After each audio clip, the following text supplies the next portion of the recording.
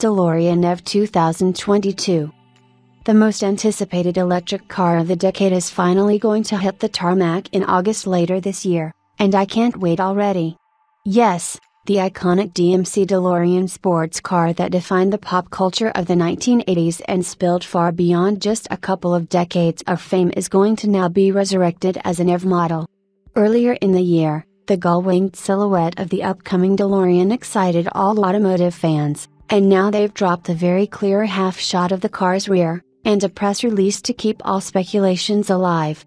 So, I can confidently say, the DeLorean is going to be back in the future. The iconic car is in fact all set to hit the limelight on August 18, 2022, at the prestigious awards ramp at the Pebble Beach Concours d'Elegance. From what we see in the teaser image, the EV is going to follow the norm with a modern silhouette and this concept gives our imagination wings. If we ignore the rear that looks more akin to the Bugatti Chiron, the EV could be pretty similar to what we see in these renders.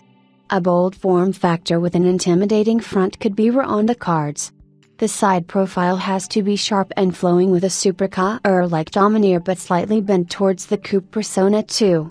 As per Troy Beats, CMO of DeLorean Motor Company Incorporated, zero excitement is rising like the doors of our iconic sports car, and we are revealing the next generation prototype three days earlier than planned on the most prestigious stage at Pebble Beach.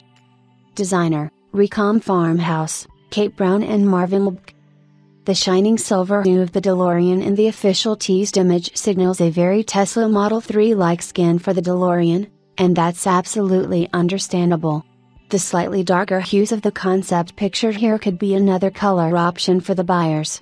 The renders of the DeLorean pictured in the valley of Wadi Rum Desert is an indicator of the hyped car's anticipation amongst the cult followers who want to own anything linked to Back to the Future movie.